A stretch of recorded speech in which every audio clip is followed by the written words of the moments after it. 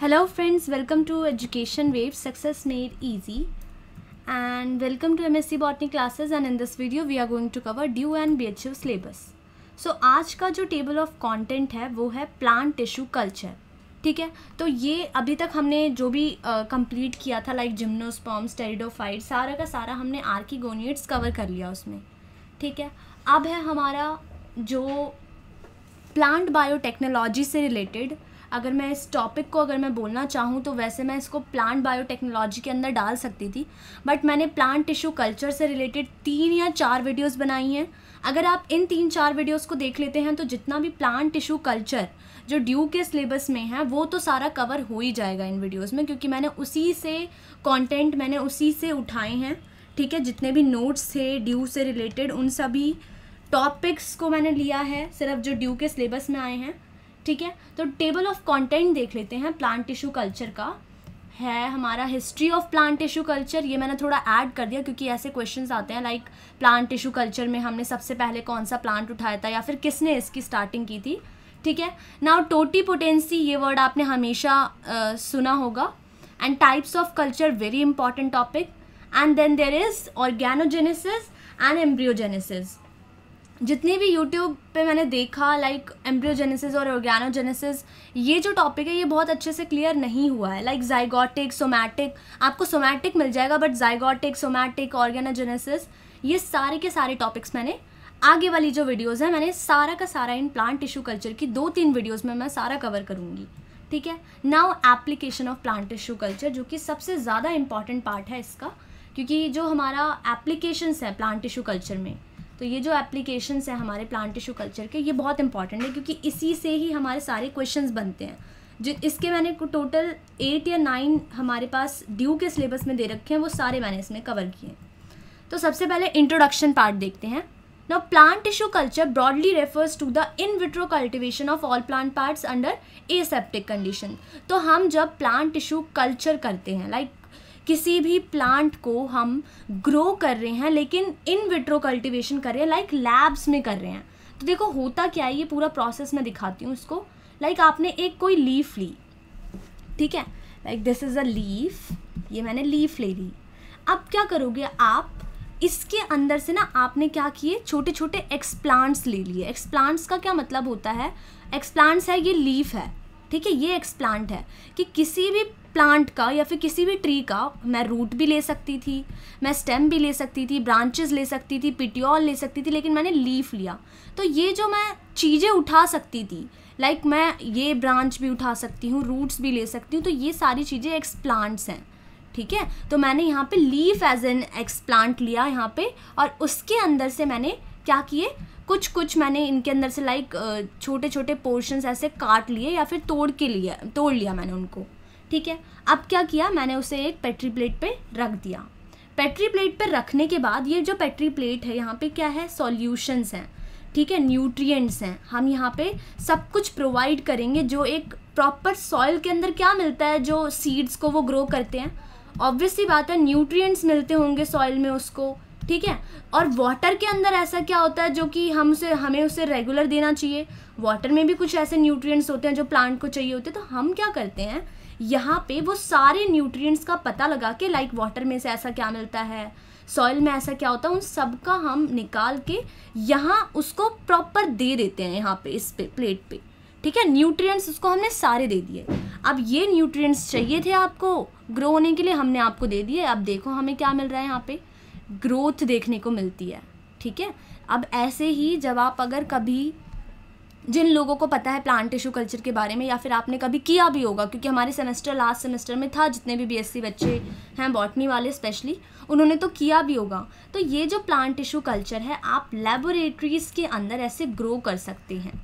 ये पूरे plantlets grow कर सकते हैं। एक लीफ से आपने कितने सारे प्लांट्स ग्रो कर लिए, है ना? इससे क्या क्या हुआ? आपका टाइम बच गया, है ना? टाइम कह सकते हो कि आपने टाइम अपना बचा लिया और क्या क्या चीज़ें कह सकते हो कि आ, हमें मतलब बहुत ज़्यादा एरिया की नीड नहीं पड़ी है ना? हमें क्या अगर मैं एक ही लीव से उगा लेती हूँ तो लाइक मेरे को सीड्स इतने सारे नहीं चाहिए मुझे अगर ये सारे ग्रो करने थे। मैंने एक्सप्लांट्स की हेल्प ली मुझे थोड़े न्यूट्रिएंट्स की ज़रूरत थी थोड़ा सा टेम्परेचर जो हमें चाहिए होता जो हमें सूटेबल रखना होता और ए सेप्टिक लाइक आपको ये चीज़ देखनी ही पड़ेगी कि वहाँ पर बिल्कुल कंटामिनेशन नहीं है। ठीक है? वहाँ पे बिल्कुल भी एल्गे फंजाई बैक्टीरिया ये जो जितनी भी कंटामिनेशन कॉज करने वाली जो भी चीज़ें हैं, वो वहाँ पे प्रेजेंट ना है। देखो तो प्लांट टिश्यू कल्चर क्या है? It broadly refers to the in vitro ठीक है लेबोरेटरीज के अंदर कल्टीवेशन होता है of all plant parts under aseptic condition तो कोई सा भी पार्ट ले लो। अब जो जर्मन बॉटनिस्ट थे, जिनका नाम था गॉटलिव हैबरलैंड उन्होंने 1902 में as a father of tissue culture जाना जाता था उनको प्लांट टिश्यू कल्चर का उनको फादर बोला जाता था बिकॉज़ उन्होंने ही सबसे पहले ये कॉन्सेप्ट जो था इन विट्रो सेल जो सेल का कल्चर है, ये करने का उन्होंने मतलब उन्होंने ही डेवलप किया था। तो क्या नाम था उनका? गॉटलिब हैबोलैंड ठीक है?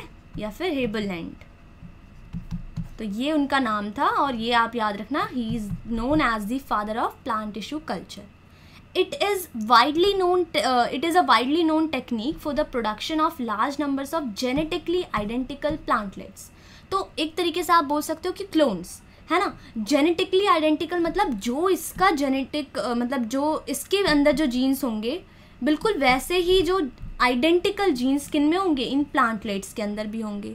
क्योंकि देखो होता क्या है हम क्या करते हैं जैसे लाइक like, अगर कोई प्लांट ग्रो भी होता है लाइक like मैं अगर इससे इस प्लांट को ग्रो करती हूँ तो होता क्या है बेसिकली कि जो मेल आया फीमेल आया दोनों के दो डिफरेंट टाइप के जीन्स आते हैं और फिर ये तीसरा बनता है तो इसके अंदर दोनों के जीन्स होते हैं।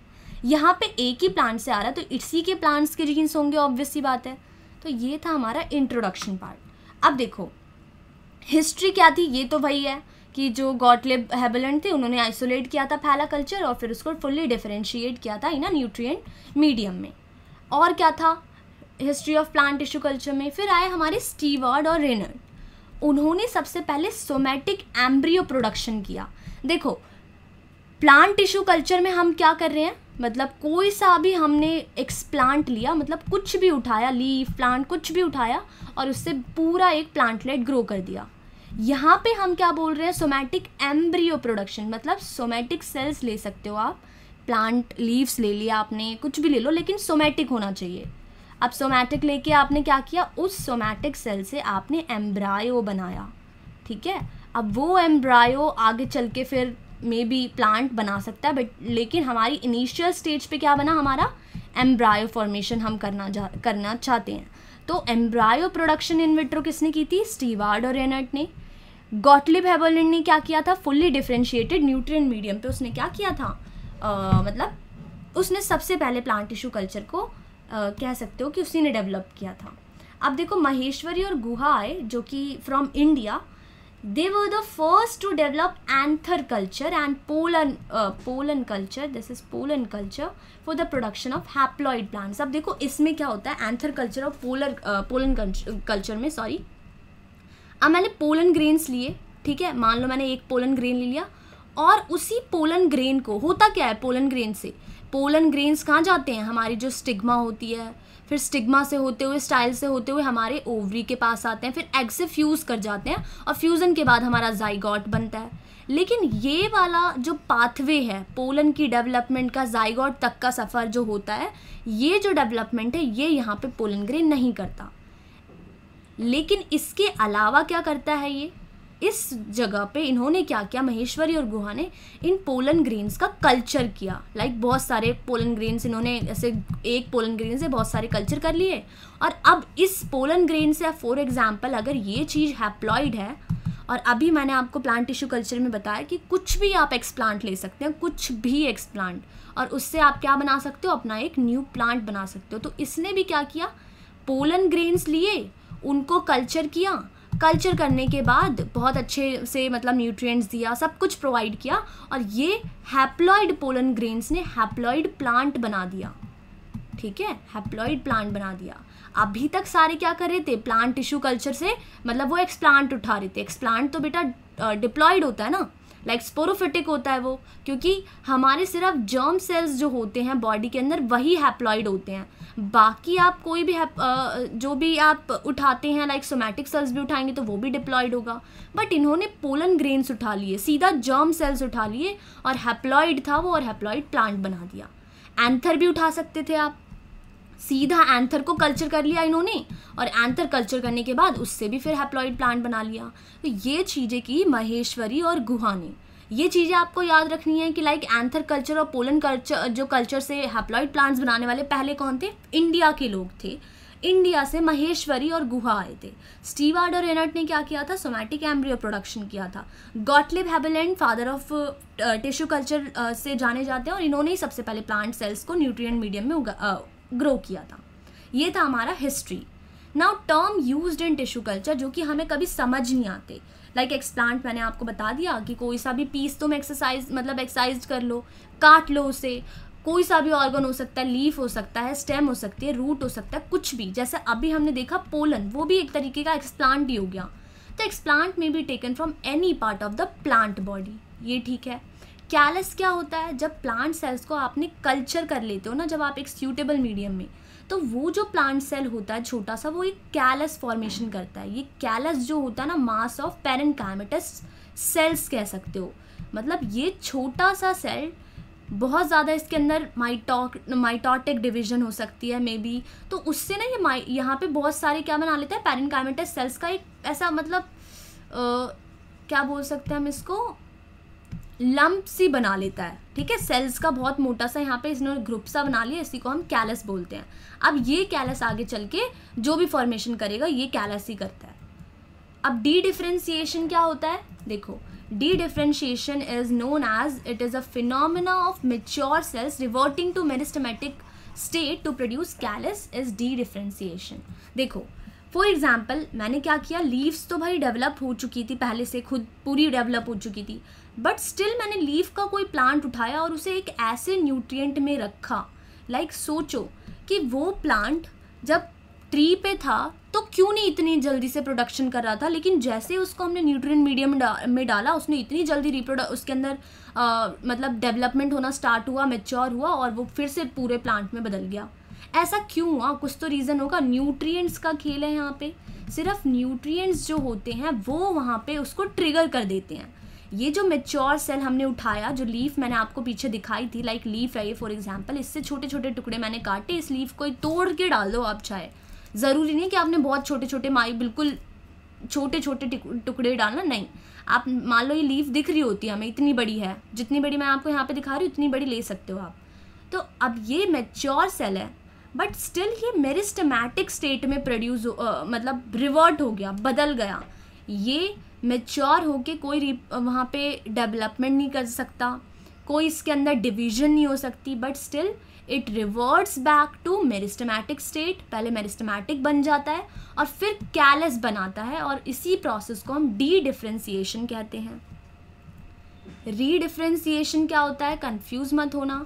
ये जो कैलस था, अब ये cells to differentiate into a plant organ और अ होल न्यू प्लांट जो कैलस के पास ये जो एबिलिटी है कि वो पूरा एक नया प्लांट बना सकता है, इसी को बोलते हैं हम रीडिफ्रेंसिएशन कि किसी भी कैलस सेल्स ये जो एबिलिटी थी इस कैलस सेल की, कि वो रीडिवाइड हो सक मतलब दोबारा से कोई एक नया प्लांट बना रहा है, उसको बोलते हैं हम रीडिफ्रेंसीशन ठीक है? ये थे टर्म्स जो हम बार बार यूज़ करते हैं डी डिफ्रेंसिएशन रीडिफ्रेंसिएशन जैसे टोटी पोटेंसी क्या होता है? लाइक like, जो गॉटलिब हैबलेंड थे उन्होंने टोटी पोटेंसी डिस्कवर की थी क्योंकि यही एक मेन मतलब अगर आप प्लांट टिश्यू कल्चर देखोगे ना तो उसके पीछे ये टोटी पोटेंसी ही छुपी होती है हर सेल्स के की अपनी एक टोटी पोटेंसी होती है। टोटी पोटेंसी का क्या मतलब होता है कि एक सेल के पास इतना पोटेंशियल है कि वो एक नए पूरे होल प्लांट में कन्वर्ट हो सकता है। लीव्स बना दी ब्रांचेस बना दी रूट्स बना दी इवन फ्लावर्स तक इन्फ्लोरेसेंस तक हो सकते हैं। तो किसी सेल के अंदर, एक छोटे सिंगल सेल के अंदर ऐसी एबिलिटी होना कि वो एक नए होल प्लांट में कन्वर्ट हो सकता है या फिर बना सकता है, उसी को हम टोटी पोटेंसी बोलते हैं। तो यही तो चीज़ें कर रहे हैं ना हम इतनी देर से। इसीलिए तो उसको प्लांट टिश्यू कल्चर बोल रहे हैं ना कि कोई सा भी एक्सप्लांट लो और वो पूरा एक होल न्यू प्लांट बना देगा न्यूट्रिएंट मीडियम में। तो ऑब्वियस सी बात है कि टोटी पोटेंसी है उस सेल के पास, तभी तो वो प्लांट टिश्यू कल्चर कर पा रहा है, बना पा रहा है। तो he gave the idea that plant cells are totipotent होते हैं and they can give rise to the whole new plant now totipotency is a single cells capacity to and generate all the differentiate जो differentiated cells हैं within an organism ये मैं फिर से explain नहीं करी वही है टोटी पोटेंट सेल्स के एग्जाम्पल्स देख लो, जैसे जाइगॉट होता है। एक तरीके का जाइगॉट मैं अब यहाँ नहीं बता रही, लेकिन जाइगॉट क्या है? एक सेल ही तो है। सेल होता है, बस क्या होता है? वो फ्यूजन ऑफ़ मतलब उसके अंदर न्यूक्लियस फ्यूज हो जाते हैं तो ये पूरा एक जाइगॉट सेल होता है। ठीक है? अब इस सेल के अंदर इतनी पावर है कि ये पूरा का पूरा एक नया प्लांट बना सकता है। चाहे ह्यूमन में ले लो ह्यूमन में भी पहले जाइगॉट बनता है और फिर पूरा का पूरा एक यहाँ पे फॉर्मेशन हो जाती है, एक न्यू अडल्ट की, बोल सकते हैं। मतलब पहले बेबी फॉर्मेशन हुई, फिर अब आगे आगे चल के। एक छोटे से सेल के अंदर इतनी पोटेंशियल इतना पोटेंशियल है कि वो एक नए होल प्लांट में बन सकता है। लाइक like स्पोर्स के अंदर भी, वो स्पोर्स जाके कहीं अगर विंड के थ्रू अगर ए सेक्शुअल रिप्रोडक्शन की बात मैं करूँ तो स्पोर्स भी क्या होते हैं? विंड के थ्रू गए और फिर जाके एक नया प्लांट बना लेते हैं। ये सारे एक टोटी पोटेंट सेल्स ही तो हैं, जिनके पास एबिलिटी है एक सिंगल सेल से पूरे होल न्यू प्लांट में कन्वर्ट होने की। Okay now the inherent characters characteristic features of plants cells, namely de-differentiation and redifferentiation, are responsible for the phenomenon of totipotency तो किसी सेल का न्यूट्रिएंट मीडियम में जाते ही क्या हो जाना? रिवर्ट हो जाना मेरिस्टमेटिक सेल्स में, उसको बोलते हैं डी डिफ्रेंसिएशन तो ऐसा हुआ, तभी तो वो नए प्लांट में बना। और कैलस जो बना, क्योंकि यहाँ पे डी डिफ्रेंसिएशन हुआ, तभी वो कैलस बना। और कैलस का होल न्यू प्लांट बना लेना रीडिफ्रेंसिएशन कहलाता है। तो ये दोनों टर्म्स ही तो हैं, जो कि टोटी पोटेंसी, एक तरीके से कह सकते हैं रिस्पॉन्सिबल हैं टोटी पोटेंसी के। एक नया होल प्लांट इन्हीं की वजह से बन रहा है, ये दो बीच में ज़रूर आ रहे हैं। तो ये इनहेरिट इनहेरेंट कैरेक्टरिस्टिक फीचर्स हैं प्लांट सेल्स के, ठीक है? हर प्लांट सेल्स में होगा ये। जितने भी प्लांट सेल बना लो, अगर ये जो नया वाला बना है, इसके भी मैं अगर एक प्लांट्स लूँ तो ये भी, इसके अंदर भी ये पावर है रीडिफ्रेंसीशन करके। डी डिफ्रेंसिएशन करके पूरा एक नया प्लांट बना लेगा। तो ये इनहेरेंट है मतलब ये हमें आगे वाली जनरेशन से ही पास ऑन हुए ठीक है? अब टाइप्स ऑफ़ कल्चर देखो कैलस कल्चर होता है लाइक like, पहले वो कैलस बनेगा छोटा सा सेल डाला वो कैलस बना और वो कैलस जाके आगे होल न्यू प्लांट बनाएगा। इसे बोलते हैं कैलस कल्चर जो कि कैलस फॉर्मेशन करेगा। फिर सेल कल्चर कल्चर की बात करें यहाँ पे ध्यान देना आप। फिर protoplast culture and then there is organ culture जिसके अंदर हम क्या बनाते हैं? ऑर्गन कल्चर में आपने देखा होगा सीड कल्चर भी होता है एंथर कल्चर भी होता है ये सारे कल्चर्स होते हैं। बट ये सारे ऑर्गन कल्चर के ही पार्ट्स हैं, क्योंकि ऑर्गन का मतलब क्या है? किसी प्लांट का ऑर्गन तो सीड भी तो ऑर्गन है embryo anther ovary nucellus meristem ये सारे ऑर्गन कल्चर में ही आ जाते हैं। ये टाइप्स ऑफ़ कल्चर बहुत इंपॉर्टेंट है, थोड़ा ध्यान से पढ़िएगा।